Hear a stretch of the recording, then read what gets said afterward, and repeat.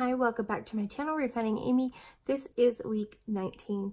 Please stay tuned for my new stats and to hear a little bit about my week. Hi, I'm Amy. I'm 45 years old and on March 19, 2019, I had surgery in Vegas. Dr. Tom Umbach was my surgeon. I went through his practice, which is called Blossom Bariatrics, and it's a wonderful facility. If you want some information, please feel free to contact me.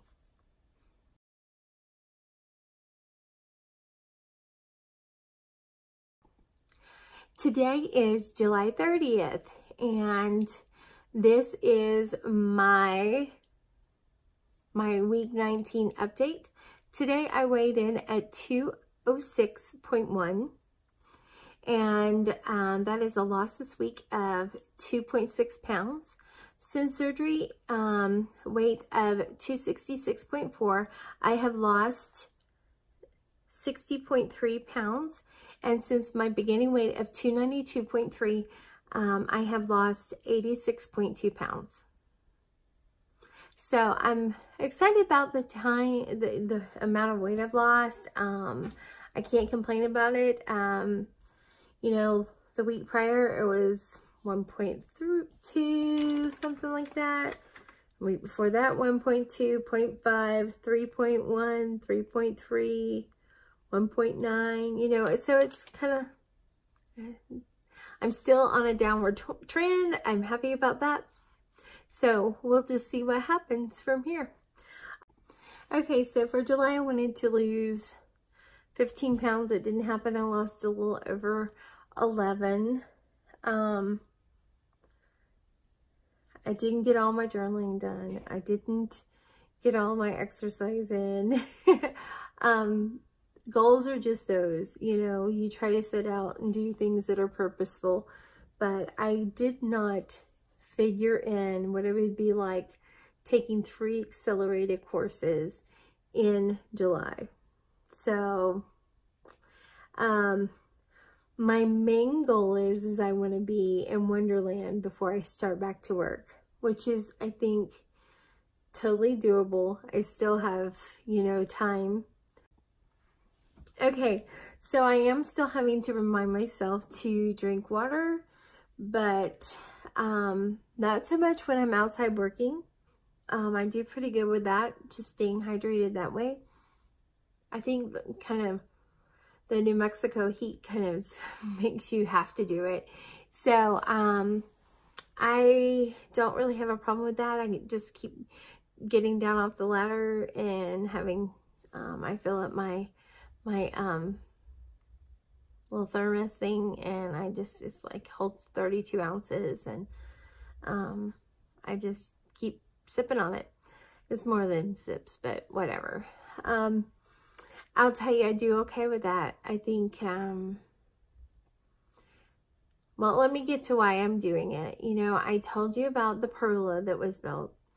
Well, we are staining it and sealing it, and it's rough cut wood.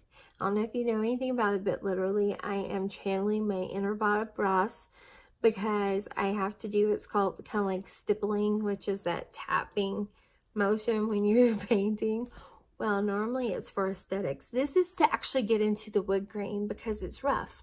So it almost looks like it's like hairy bark, hairy timber.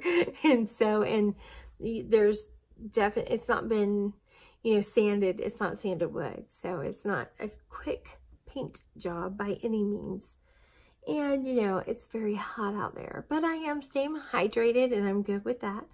Um, that's why I have this red nose and cheeks and like the tips of my ears because I get up on the ladder and I'm up there and I normally wear a hat even when I go to the pool and even when I go down the slide I'm wearing a hat because it helps it just helps like my eyes don't get as crazy you know um it just the sunlight just like ugh so bright um but I normally am wearing a ball cap and I didn't want to do this because I am a very sloppy paint painter. I have a couple of pictures. Like, look at this. Yeah. That's not even the worst of it. Like, there, there's times when it's like everywhere. I think I got it all off this. Um, School's driving me crazy.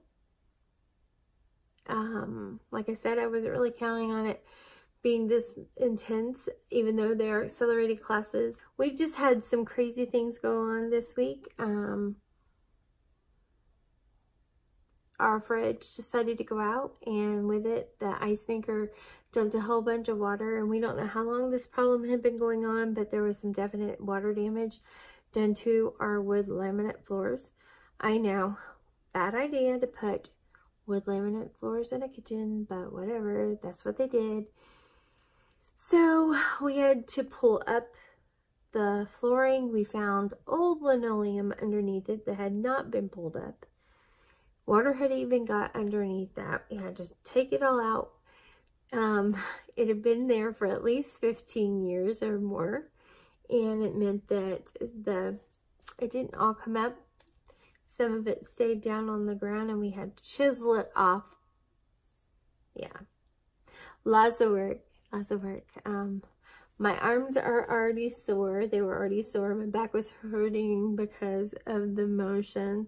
You know, the muscles are just like, holy cow. But, um, you know what? I'm able to do it. Before I would have been like, okay, I'll keep going. Okay, you know, but I'm able to do it. Go up and down a ladder. I'm good, you know. Um, the heat does take it out of you and you do have to stop. So today, what we did was we went, um, we worked until noon and then we broke away and went swimming. I had class this evening, had a pre presentation that I gave. Rock that. Yes, I did. Anyways, um, long story short, we're getting a new floor and a new fridge. We aren't planning on doing either. Hmm. Yay. Hmm. But, you know, the joys of being a homeowner. Yeah. Okay. So, will tell you that something I found out, I struggle getting in my water and my food if I sleep in. I just can't do it. I don't sleep in much anyways, but when I do, it like throws off the whole schedule. Just can't do it. So, anyways, that's what happened. Um, poop scoop time. Getting behind on my water for the last week and the week before has definitely um, made it more difficult and I am working on it but it's not 100% but I will tell you that um, I didn't go for like a while. Um, it was like four days and finally I went and oh my god.